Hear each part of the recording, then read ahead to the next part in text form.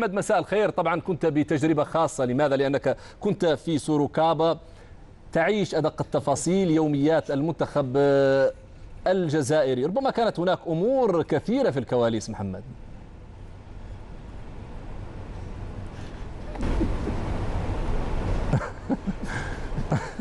نعم كانت أمور كثيرة في الكواليس ولكن بداية دعني أمسي على هؤلاء الشباب وتحية خاصة إلى حسيسن. حسيسن يعرف من هو ويعرف سر الكلمة كذلك.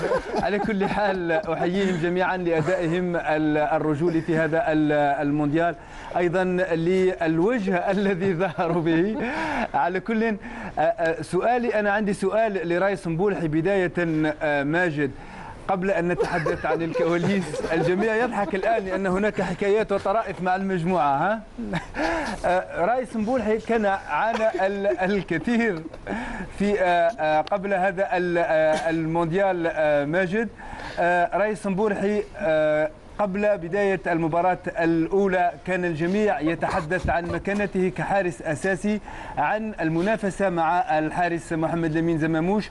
هو كان دائما بهدوئه بتركيزه تمكن من العودة بهدوء ورغم ذلك لم تكن العودة فقط من أجل العودة ولكن كانت بتألق. وكنت نتحدث مع أرسن فينجر قبل ذلك. تفاجأ فعلا لمستوى هذا الحارس.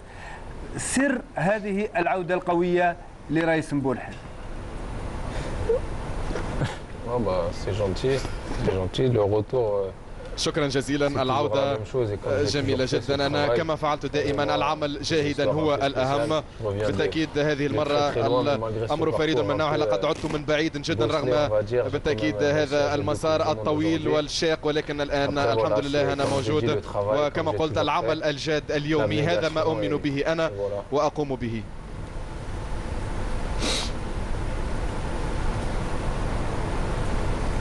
سمعت إلى جواب محمد الوضاحي.